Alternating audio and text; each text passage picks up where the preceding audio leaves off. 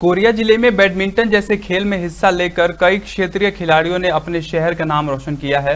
आपको बता दें कि गौरेला, पेंड्रा, मरवाही ज़िले में 6 अगस्त से 8 अगस्त तक ओपन बैडमिंटन चैंपियनशिप प्रतियोगिता चल रही थी, जिसमें सरगुजा संभाग और बिलासपुर संभाग की टीमों ने भी हिस्सा लिया था। वही इसमें कोरिया बैडमिंटन एकेडमी की टीम के खिलाड़ियों ने भी हिस्सा लिया और कम संसाधन के बाद भी इस प्रतियोगिता में अपनी अलग छाप छोड़ी। जानकारी के अनुसार, जहाँ एक तरफ़ सिंगल विमेन प्रतियोगिता में देवांशी पटेल ने अपने ही ज़िले की श्रद्धा घोष को पराजित कर विजेता बनी तो वहीं डबल मेंस के मैच में कोरिया एकेडमी के खिलाड़ी नवीन मित्रा और परम गुप्ता की जोड़ी ने बिलासपुर की टीम को हराया।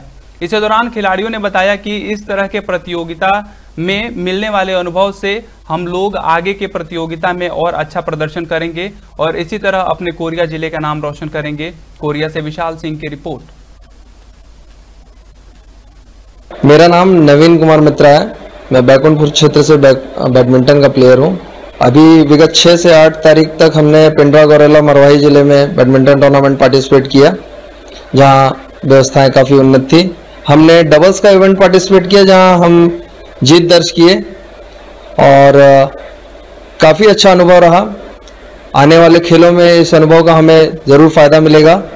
और, मैं अपने ज़िले के प्रशासन से भी उम्मीद करूँगा कि हमें जिस भी प्रकार की छोटी मोटी मदद मिल सके, मैं उम्मीद करूँगा कि प्रशासन हमारी ऐसी मदद करे और इसी प्रकार हम आने वाले समय में अपने ज़िले का नाम रोशन करेंगे। नाम देवांशी पटेल है। मैं अभी जीपीएम में जीपीएम टूर्नामेंट खेलने गई थी पेंड्रा में। वहाँ मैंने सिंगल्स में फ़र्स्ट पोजीशन में थी मैं। मैंने उस टूर्नामेंट में वुमेन सिंगल्स को जीता था। और वहाँ का एक्सपीरियंस मुझे आगे भी और काम आएगा। और अभी आगे स्कूल टूर्नामेंट होने वाले हैं। मैं उसमें भी पार्टिसिपेट करूँगी और उसके आगे देखेंगे उसमें क्या होता है, फिर आगे। मित्रा, मैं पेंड्रा ज़िले में बैडमिंटन टूर्नामेंट में पार्टिसिपेट किया। मैंने मिक्स डबल्स में रनर रनर अप पोजीशन प्राप्त किया है। ये एक्सपीरियंस मेरे लिए बहुत अच्छा है और आगे भी काम आएगा।